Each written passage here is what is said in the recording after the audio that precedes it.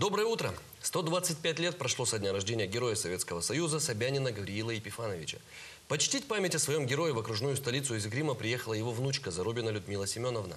Накануне вместе с членами Президиума окружного совета ветеранов они возложили цветы к бюсту героя в знак уважения и гордости за отвагу солдата. Гавриил Епифанович родился 25 мая 1896 года в деревне Шайтановка Пермской области. В 1918 вместе с семьей перебрался в наши края, в Березовский район. А в середине 30-х Собянины переехали на постоянное место жительства в поселок Игрим. Оттуда Гавриил Епифанович и отправился добровольно на фронт в 42 году. За участие в боях был награжден медалями за боевые заслуги и за отвагу, орденом Красного Знамени и орденом Ленина. В 1944 году Гавриила Епифановича не стало. Он до последнего вздоха сражался за свободу Родины и пал в неравном бою с фашистами в литвийском городе Салдус. Звание Героя Советского Союза солдату было присвоено посмертно.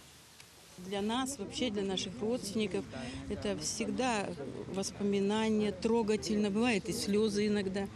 Вот. И мы, конечно, и гордимся этим э, своим таким дедом знаменитым. Он был очень смелый, храбрый, никогда не отступал. И этим самым подтверждается в газетах, вот в этих всех вырезках э, фронтовых, что смелый, храбрый, вперед всех в бой –